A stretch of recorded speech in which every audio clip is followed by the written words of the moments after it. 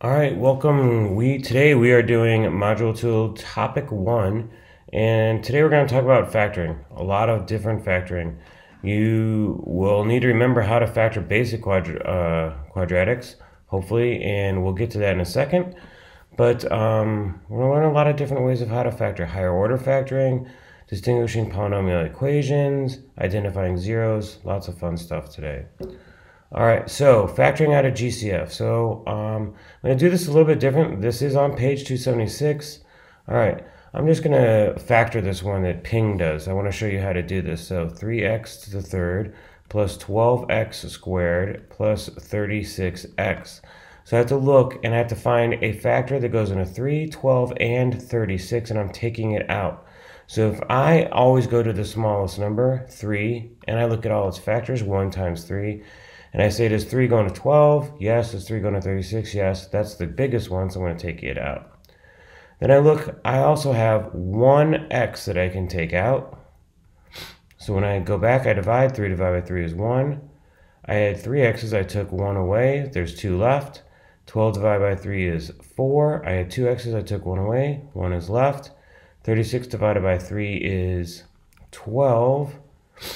Uh, I had 1x, I took it away. Now, that's that. Now, um, one thing I want to talk about, the book makes a mistake. So we're going to take this, 3x, and we're going to change one thing. We're going to make it minus 12. Whoa, whoa. All right, minus 12.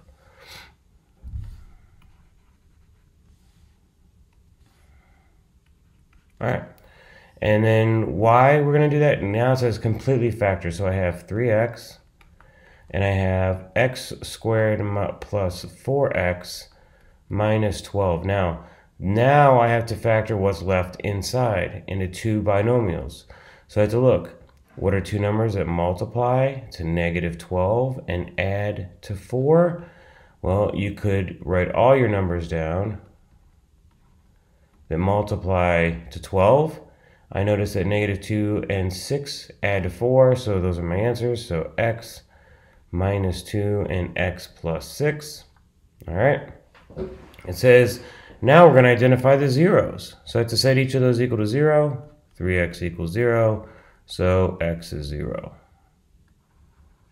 All right. Um, x minus 2 equals 0, so x add 2, x equals 2. And then x plus 6 equals 0. x equals negative 6. That says to sketch it. Well, I know it's a cubic because there's a third degree, so I know it should either look like this or like this. My A is positive, so it's going to look like this. So I'm going to go up through here. Now you could have drawn yours a little bit differently. All right. All right, so let's try one of these. All right, so the first thing I'm going to do here is I'm going to take out a common factor. 3x goes into 3, 3, and 6. So I took that out, I divide. I have x squared plus 1x minus 2, because I divided it. Now I have to ask myself, what are two numbers that multiply to negative 2 and add to 1? Well, that's positive 2 and negative 1. Find my zeros, so that's 0, subtract 2, that's negative 2, add 1. So I have negative 2, positive 1, and 0. And again, it's going to be a cubic, and it's positive a, so it's going to look something like that. Over here now, notice I have a squared, so when I draw it, it's a quadratic, right?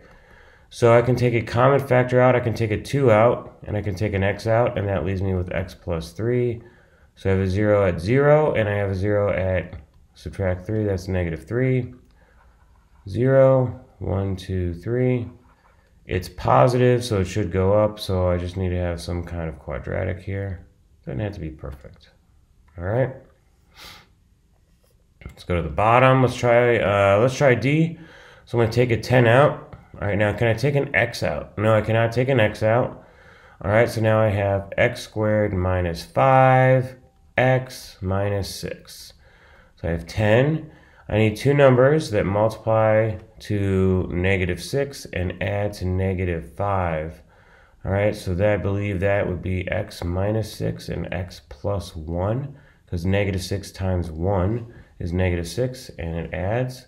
So now my zeros, 10 equals 0, x minus 6 equals 0, x plus 1 equals 0. So this is 6, this is negative 1, but look at this, can 10 equal 0? No. For that to be 0, I would need an x there, and I don't have an x. All right, so this is at negative 1 and 6, and it's a quadratic. All right, so I need to draw a U-shaped, oh, something like that. Okay? All right, now on this one, we have a different kind of factoring, okay? Um, this is a very specialized thing. So I start with 9x squared plus 21x plus 10. Now, this is these are very big numbers.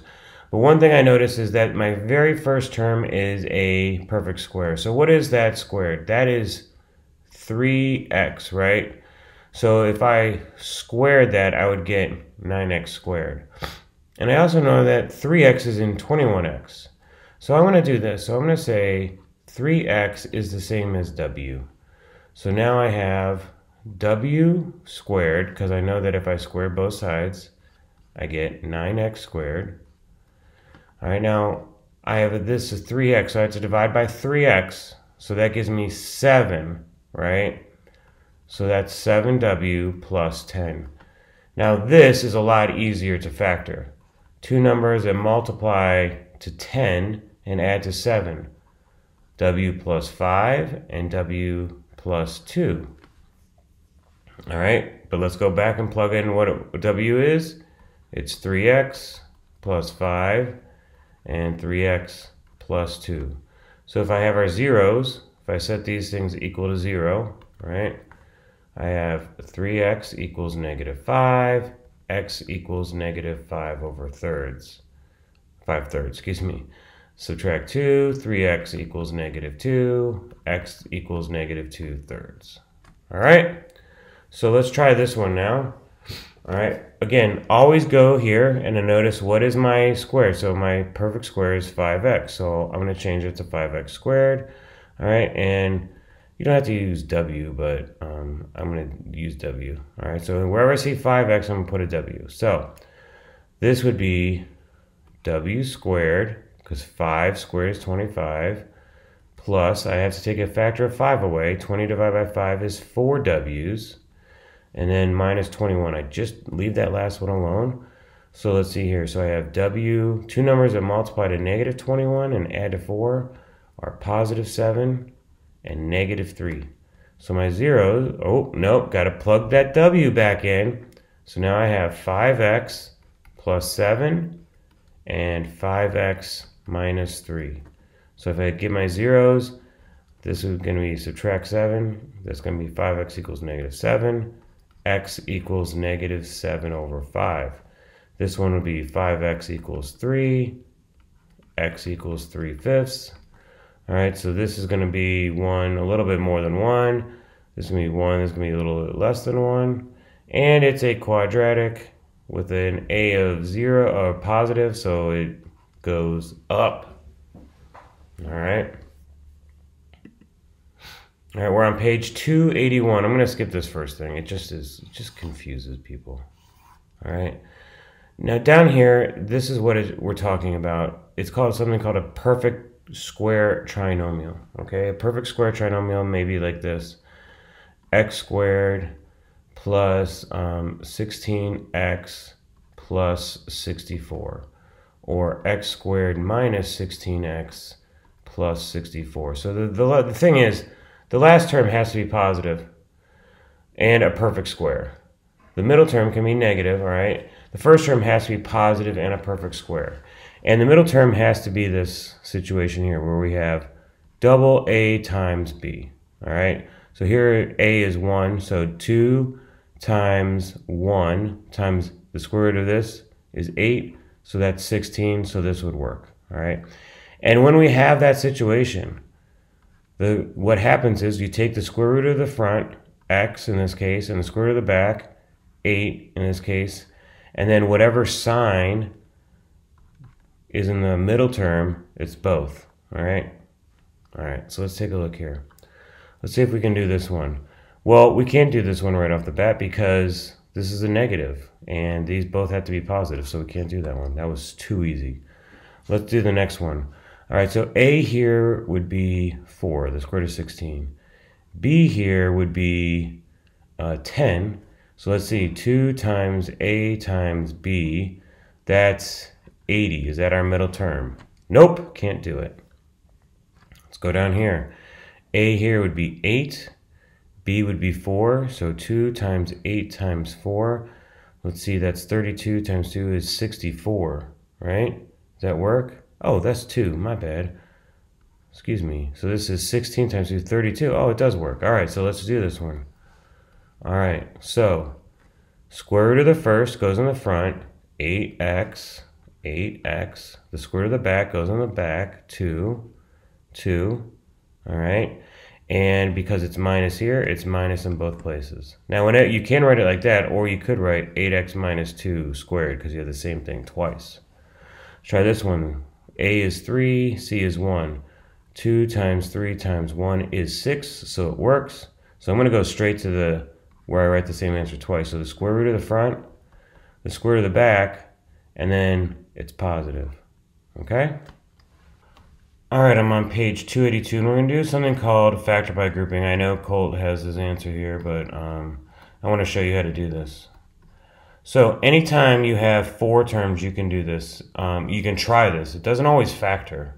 Things don't always factor, all right? So what you do is you group the first two things, and you group the last two things. Now I'm looking in the first two. What's a common factor? Well, I can take x squared out, and then what do I have left? I had 3. I took 2 away, so I have an x. I took 2 away, I have uh, 3. That's great. Over here, I can take, it doesn't look like I can take anything out, but I always want to take the sign here. So if this is a negative, I want to take a negative 1 out. And then I divide by negative 1, that gives me x plus 3. Now you'll notice, these are the same. These are the same. So I'm going to take that out. I'm going to like common factor that out. And what is left? x squared minus 1. Okay? Now, truth be told, this is difference of squares. All right, and that's much like what we just did, except for one thing. All right, hopefully you know this trick already.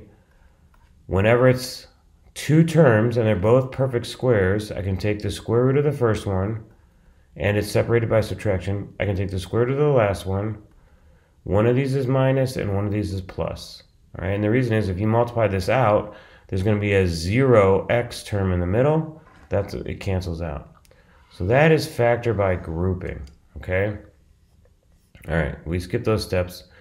All right, um, we identified the zeros. All right, that's fine. So we our zeros are going to be negative 3, 1, and negative 1. So negative 3, negative 3, negative 1, and 1. And we know, again, that we have a cubic that's positive, so it's going to start low and go high. Okay? Let's try the next page, page 283. All right, let's try this one. So I'm going to group the first two, and I'm going to group the second two. So here again, I can take an x squared out, and what's left? x plus 7. What can I take out? A negative 4. What's left? x plus 7. Remember, you have to have a negative and a negative. So now this is x squared minus 4. And what's left here? x plus 7. All right. So now this is a difference of squares. Square root of x squared is x. Square root of 4 is 2. 1 is 1 is plus. Then x plus 7. So the 0 for this would be 2, negative 2, and negative 7. So 2, negative 2, and negative 7. And again, it's a quadratic. Oops, not a quadratic, excuse me, cubic that is positive, so it starts low and goes high. Okay? All right, I want you to go over to page 284. All right, on page 284, what this is talking about is this is a fourth degree, all right? We can factor fourth degrees. No problem. You're to factor them just like you factored second degrees. All right? So I need two numbers that multiply to 100. It adds a negative 29. So x to the fourth now, so this is going to be x squared. Because x squared times x squared is x to the fourth. All right, two numbers that multiply to 100 and add a negative 29. Negative 4 and negative 25 multiply to 100 and add a negative 29. And then look at this. This is difference of squares. So square root of the first, square root of the second is 2. One's plus, one's minus.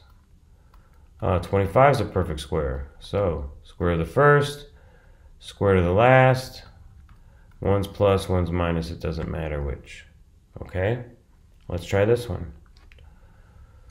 All right, so I'm going to group the first two in here. So here I can take, ooh, an x to the third out. All right. Then I have x minus 4 left.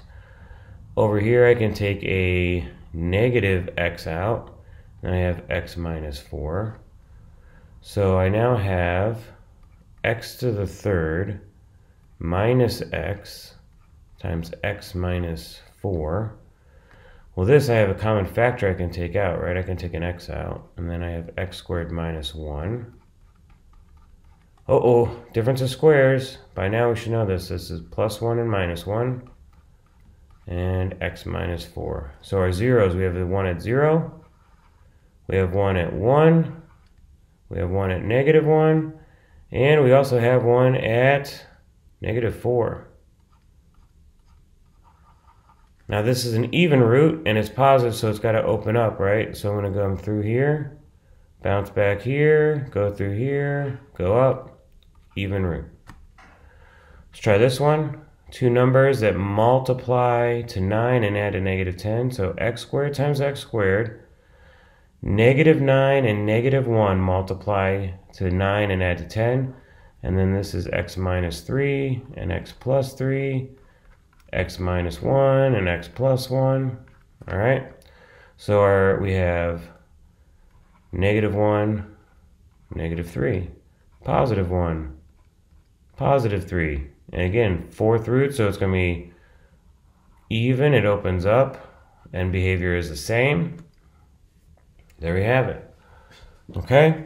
All right, so that's the lesson. All right, let's take a look at our homework. So our homework tonight is going to be on page 286.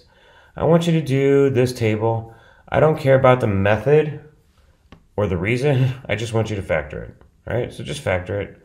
All right, and then on page 287, I need you to do number one, two, three, and then on the next page, number four. All right, best luck. If you have uh, questions, again, the biggest thing here is to ask for help.